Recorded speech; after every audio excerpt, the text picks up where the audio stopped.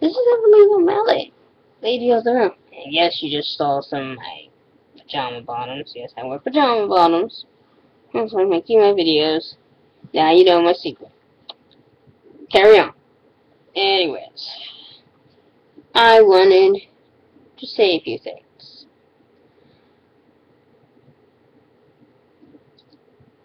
You guys are amazing. And also I want to say, hey, for the people who said happy birthday, hey, the one person who came to my happy birthday video, well, I want to say thank you to them. And I was very appreciative for that. And that's exactly what I'm supposed to be doing in this video. Well, you're going to start seeing a series of different videos where I'm going to be talking about just certain things about myself, certain things I want to get off my chest. That's not like I don't have enough on it. What can I say? It's the only joke a big-chested woman can make about someone, and, uh, yeah. But anyways, I want to get it off of my chest Sorry, flies. So then you can see them, you go fatty. Probably. Anyways. Anyways. Anyways, as I was saying about that, reason this one is a personal one. See, there's really no way to really prove it, so just believe me when I say it. I'm adopted. Okay? I am adopted. Uh, if the powers that may be would allow me to show pictures, I would. But I'm not going to. Um, I don't want to go into too much about the story other than when I was born, I was a very, very, very, very sick child. Um, I'm still slightly sickly, but getting better. So don't try messing with me, mister. But at the same time, I'm not the most well person. I am on a lot of medications.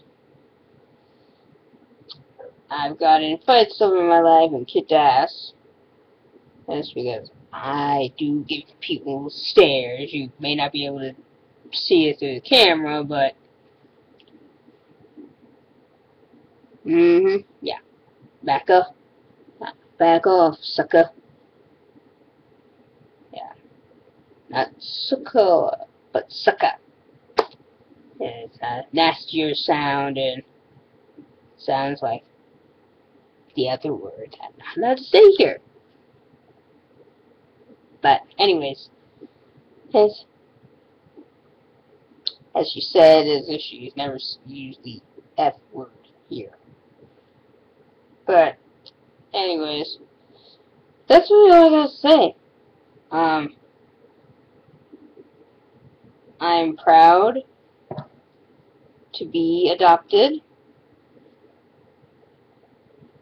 And mostly because I guess it's always been a very shameful thing for a person to be adopted. Um, mostly because I guess you've heard of a whole lot of stories where people have been adopted. Um,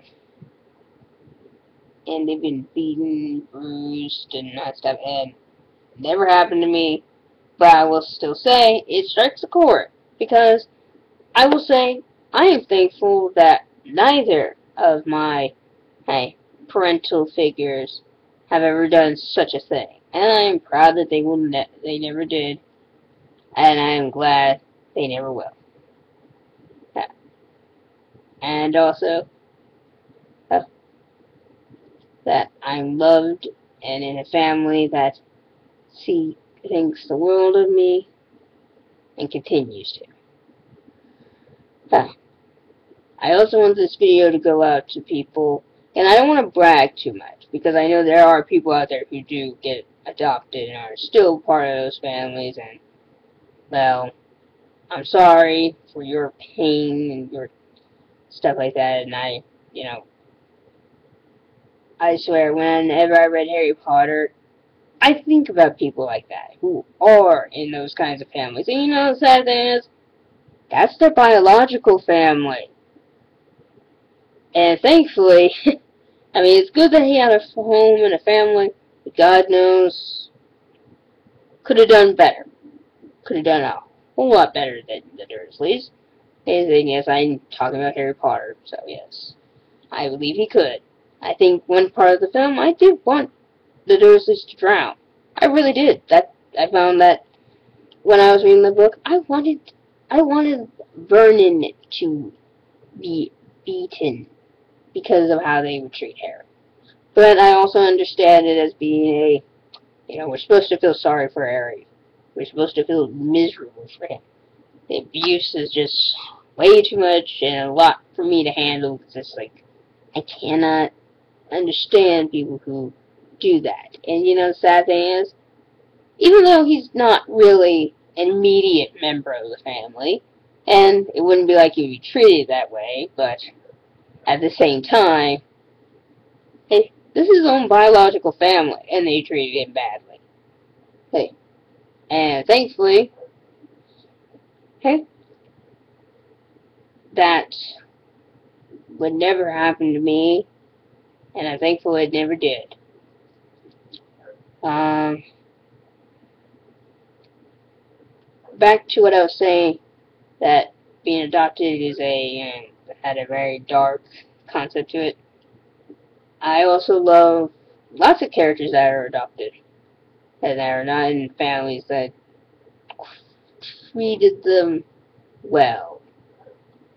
That they told people, hey, I'm not taking it anymore. We're going to do things my way or the highway attitude, and I applaud them every single time they do it. Um, one would probably be, and this doesn't exactly apply to Annie, I guess, because I guess the reason why I like her is, well, she's a redhead, and you know how much I like redheads. I will go into that later, but, oh yeah, I, I was going to do a redhead pride thing, wasn't I? But first I have a list of reasons why I like them, and all that stuff, and you'll know.